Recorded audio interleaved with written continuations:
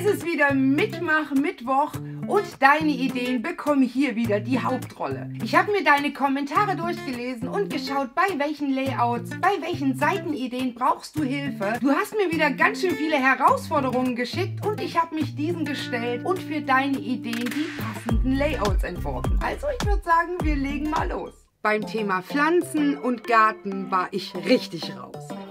Deswegen habe ich mir hier wirklich so eine grobe Übersicht geschaffen und wir fangen hier mal mit der Jahresplanung an, denn die verdient hier definitiv im Bullet Journal eine eigene Seite. Da reicht eine kleine Übersicht aller Monate einmal aufgelistet, damit du dir hier eintragen kannst, wann du was sehen, wann du was ernten möchtest. Die Seite daneben gehört dann nämlich dazu und hier habe ich mir so einen Aussaatkalender geschaffen. Nur ein kleiner Disclaimer, bitte orientiere dich nicht an dem Kalender, das ist alles so ein bisschen frei erfunden. Definitiv hat dieser Kalender aber eine richtig tolle optische Wirkung. Denn durch meinen Farbcode kann ich hier sehen, von welchem Monat an so eine Aussaat stattfinden muss und wann eine Ernte erfolgen kann.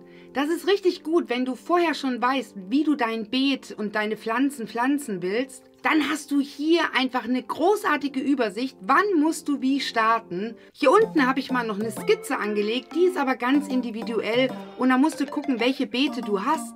Hier könntest du noch ein bisschen aufzeigen, wo soll was hin, und damit du da noch ein bisschen mehr Ideen hast, habe ich auf der anderen Seite mal noch zwei Fragen notiert. Und zwar, was passt nicht zusammen und was passt gut zusammen. So kannst du super verhindern, dass Pflanzen, die nicht gut zusammenpassen, auf deinem Beet aufeinandertreffen. Aber ich glaube, da bist du mehr Profi als ich. Definitiv verdient auch so eine Gartengestaltung oder generell die Arbeit im Garten eine extra Seite im Monat. So eine To-Do-Liste für den Garten ist einfach eine super Idee, weil du gleich am Monatsanfang siehst, was muss ich auf jeden Fall machen, um das dann eben in die Weeklies oder die Dailies zu übertragen. So ein Tracker ist da einfach auch eine gute Idee. Ich habe jetzt als Beispiel hier mal Rasenmähen, Gießen, Ernten, vielleicht Umpflanzen, all diese Sachen, die jeden Monat immer wieder kommen, aufgelistet, damit du die hier tracken könntest. Schau einfach, was passt da zu dir. Und übrigens ist dieses Setup definitiv nicht nur was fürs Beet, sondern auch Zimmerpflanzen und deren Pflege könnten hier super integriert werden. Außerdem kannst du dir festhalten, wenn du irgendwelche Tipps aufschnappst.